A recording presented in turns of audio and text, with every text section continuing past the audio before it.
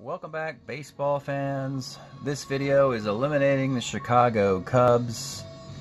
Uh, backs against the wall, they produced against the Cardinals, won four out of six games. It just wasn't enough to keep their season going. They finished in fourth, which eliminates them.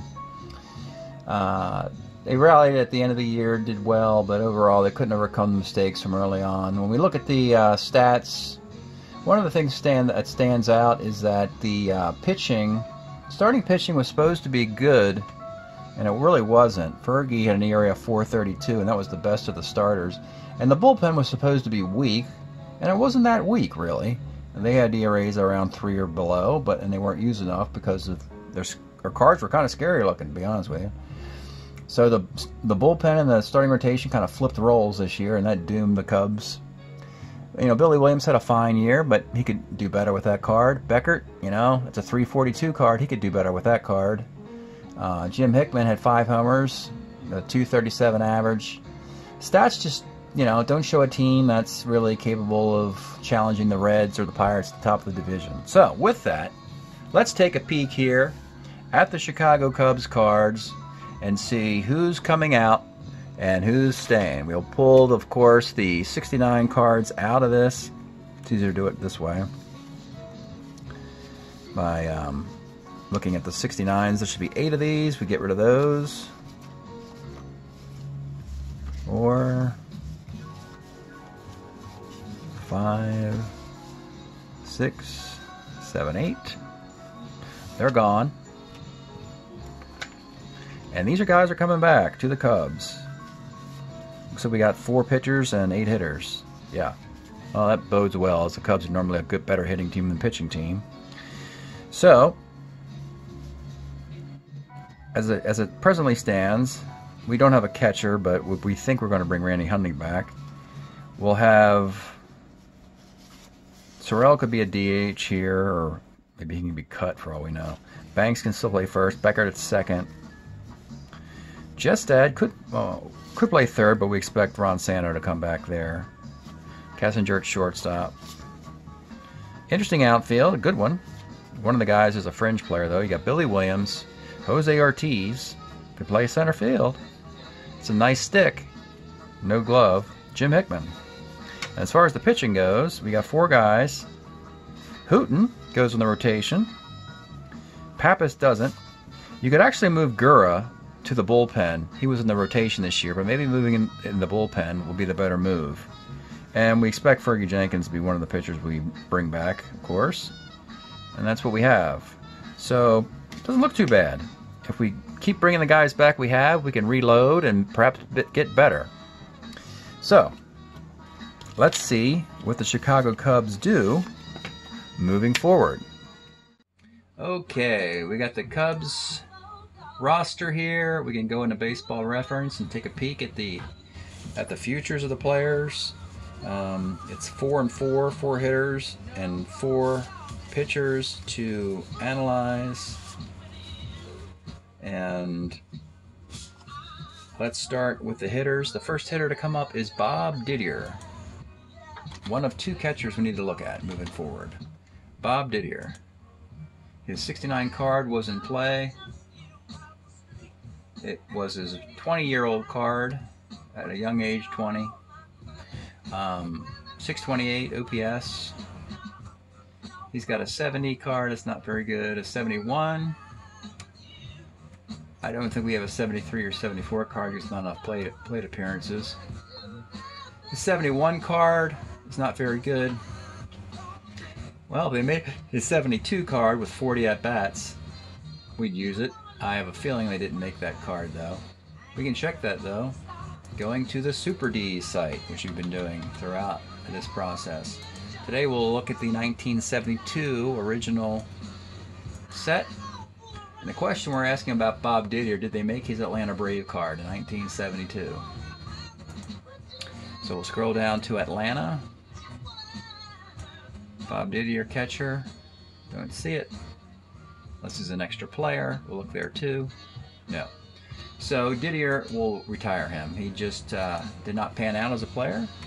We'll put him in the third category with $1 amount. So Didier is a retiree. Next up, is Randy Hundley. We expect him to come back to be the starting catcher. And now we're just picking a year. Obviously, we're not. What we're not seeing here is his throwing arm, and I think his throwing arm was a minus three arm this past year with a 69 card, and he was an All-Star in 69. The throwing arm will be the consideration moving forward. So 70, he hits 244. 71, he must have gotten hurt. He didn't play. 72 and 73, his batting average isn't very good. I have a feeling though that the Cubs will bring him back, and they'll they'll pick his best split. None of them are particularly good.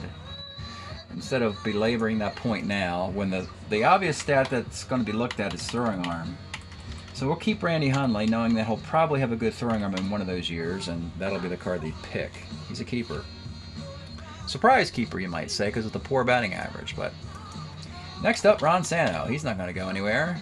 He played through 74 for the Cubs. And now it's simply a question of figuring out which year they pick. Uh, three All Star years are coming up with OPS over 878 here and 72. It's probably 72.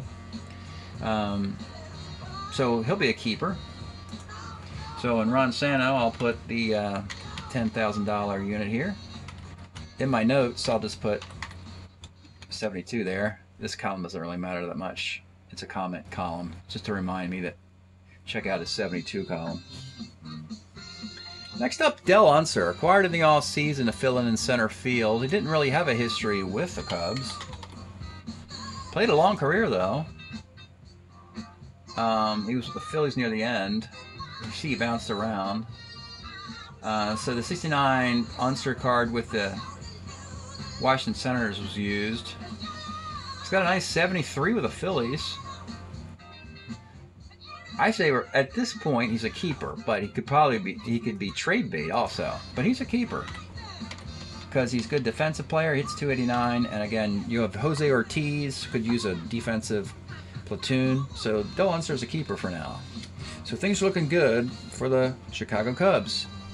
Next up, Fergie Jenkins. But I just type in Ferg, did he come up? Yeah, of course. Fergie, the Hall of Famer. 69 wasn't really that good a year anyway. He was 21 and 15. Surely he can do better than that. And in 1970, he led the league in whip at a buck 38. So we're considering again years 70 through 73. Yeah, just pick the year. That doesn't really matter too much. They're all about the same. And that's kind of good. You like having a superstar with flexibility so that guys who don't have that flexibility, you have to pick that year. This way we have flexibility for Fergie to fit in in a year that there isn't a, a lot of options. So Fergie would be the fourth keeper. So it's gravy from here on out. And we have the Cub bullpen, the much maligned Cub bullpen to consider moving forward, starting with Hank Aguirre. Had a long career, starting in 1955. Hank Aguirre. 69, he was a Cub, and he gets, he's 39 years old. You saw him in Game 6. He pitched two great innings to kept, keep, try and keep the Cubs season alive. Turns out that's going to be the end of his career, because in 1970 he only pitched 14 innings. So we have a second retiree. The great Hank Aguirre will be retired from the Chicago Cubs. And we have two more pitchers. Next up, Bruce Dal Canton. Bruce Dal Canton will be very young at this point. Pitches for the uh, Royals and Braves, name a few teams. He has a couple good years moving forward. Let's take a peek here. So very young, Bruce Dal Canton was a Pirate in 69. It's not glamorous, folks, but he's got workable seasons between 70 and 73. Um, Mostly a starter, though, is where he finds his success. Oddly enough, when he goes to the bullpen, he's weak. Look at the ERA in a relief year, here and here. But look at look at him as a starting pitcher here and here. So maybe the rotation is the spot for him. At least for the Royals, he was okay in 71 and 72. I think we need to put some guys on waivers, and this, this makes the most sense. First of all, if you look, he's not even connected to the Chicago Cubs. So I think he goes on waivers and he can continue his career with anybody. We're going to put a $100 value there for Bruce Dal Canton. And lastly, Cecil Upshaw, another player who was not connected to the Cubs but ended up here. He was a Brave. So we're looking at 69 Upshaw with the Braves. This is the card we're getting rid of, which is a nice card with a buck 24 ERA. Now, what's tricky here is he does not play in 1970, so he's on the disabled list. What that means is the Cubs cannot put him on waivers. All waivered players have to have a card in the first season coming up next year, which is 1970. So he cannot qualify for waivers. So he has to be a keeper or retired. 71 and 72, he's a pretty good reliever. Retiring a player is not is not bad either because you can come out of retirement. That's not a problem. So for now, because they can't put him on waivers, and because they like the other guys they have as keepers, he is a he's going to be a, a retirement player.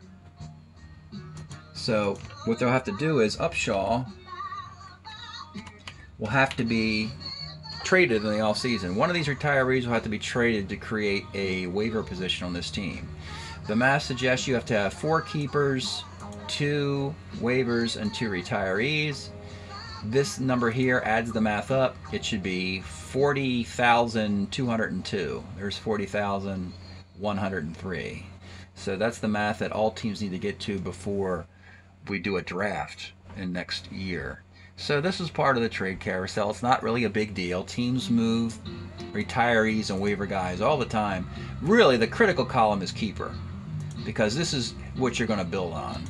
So the waiver and retiree column doesn't matter too much going into the uh, trade carousel in the off season. So that's a wrap for the Cubs. Future looks bright. Bad year. I, I see them coming back, playing better, getting back over 500, and seeing where they go from there. Thanks for checking out the Eliminating Chicago Cubs video. We'll see you next time.